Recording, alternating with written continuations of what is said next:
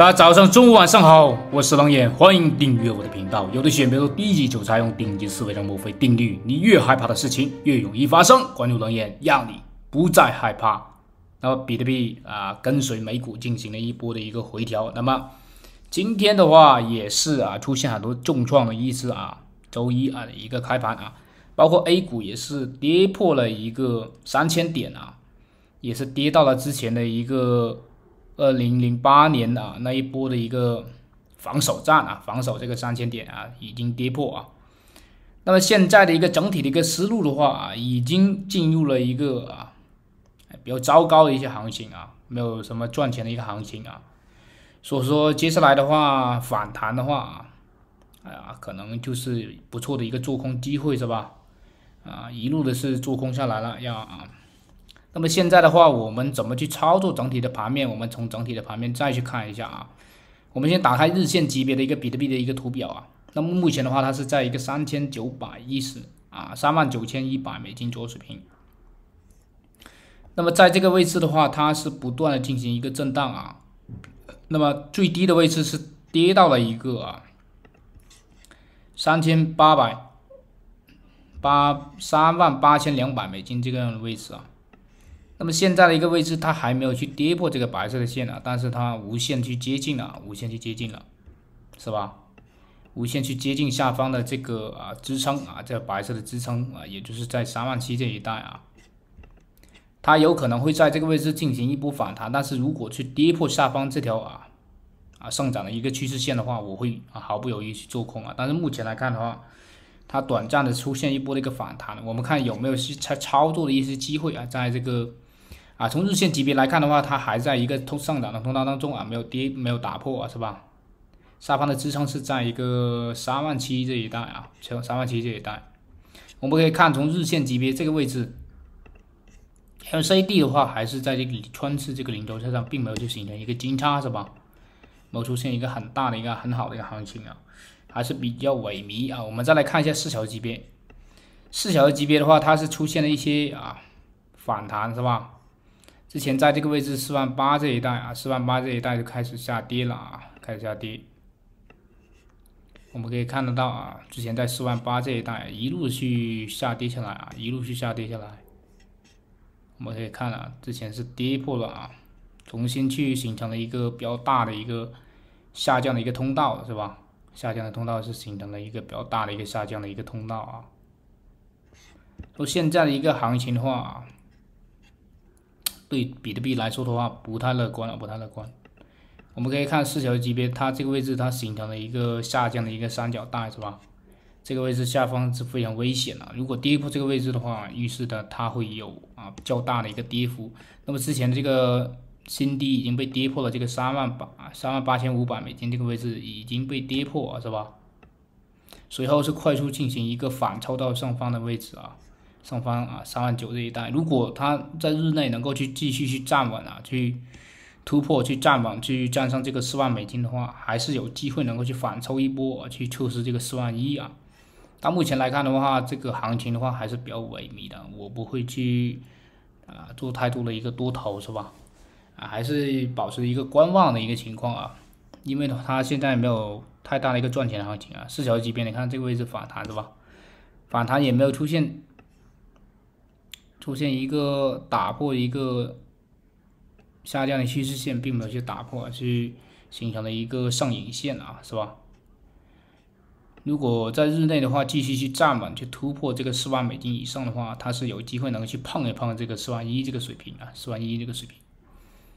到目前来看的话，整体的盘面还是比较萎靡的啊，不要去轻易的去抄底啊，不要去轻易去抄底，是吧？那么现在的一个四小时级别的一个操作思路的话，它还在一个下降的通道当中，是吧？如果碰一碰在下方这个位置啊，三万七啊，三万三万八这一带是有一个不错的一个操作机会，跌破的话进行继续做空，是吧？打破这个下降的趋势线之后，打破这个四万多美金的啊，打破这个四万一啊，四万美金附近才可以去做多，现在比特币是吧？战胜这个四万一这一带，它的一个能量才会起来啊！没有战胜这个四万一的话，它是仍旧是会继续去回调，是吧？现在的一个思路的话，没有太大的一个赚钱行情的一个思路是吧？四小时级别的话，都是比较啊，比较萎靡啊，比较萎靡，比较萎靡是吧？可以看得出来啊，现在的一个思路，你看上方的一个白色的压力是非常强的，在这一带四万一这一带啊，而且是即便它这边位置突破之后啊，它最后的话还要是要进入一个回调的一个阶段啊。反正无论这一波它反弹是吧，如果反弹的话。大家可以去减仓了，是吧？在这一片啊，在一片区域一定要去减仓，是吧？这一片一定要去减仓啊，因为的话，如果反弹的话，给你机会去减仓的话，一定要去减仓，是吧？因为现在的话，整个大盘啊是环境不太好，是吧？当然，它是有机会能够去日内的话，有机会去碰碰这个四万一这一带的一个水平啊，所以说大家可以去关注这个四万一这一带的一个水平啊。啊，可以去碰一碰啊，碰一碰没有太大问题。那我们再来看一下这个以太坊。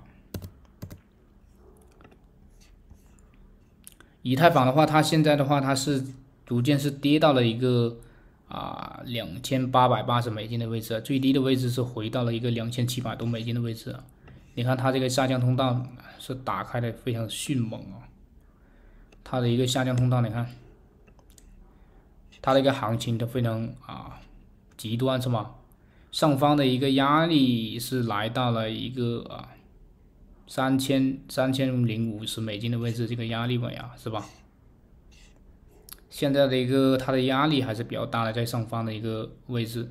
那么四小时级别的话，它是也仍旧是在一个下降通道当中啊，没有出现一个打破这条下降的趋势线的话，没有打破这上方这条白色的线的话，不要去轻易再去做多，是吧？打破这条白色的线再去做多啊，这条是吧？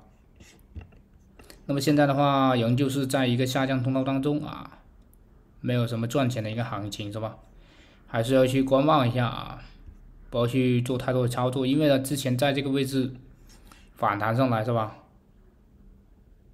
这位置反弹上来，虽然它还在一个上涨的一个通道当中，但是如果它碰到下方的位置，会有一波不错的一个反抽啊，碰到这个。白色线啊，两千七的水平会有不错的一个反弹，去触碰之前的一个位置，也有百分之十的一个反弹的一个空间。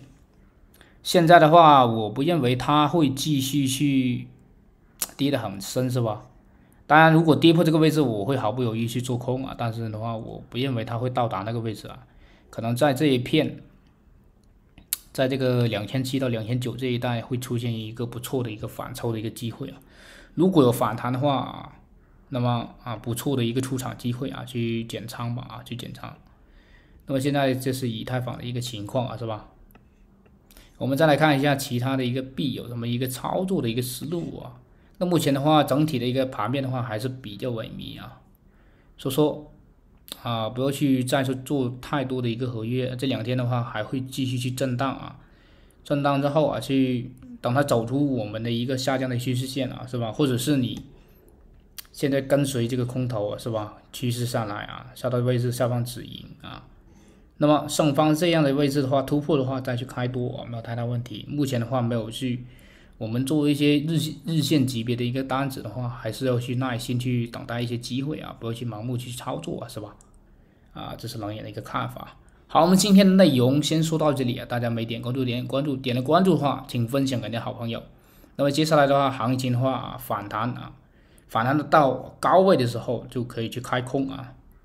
好，我们明天再见，拜拜。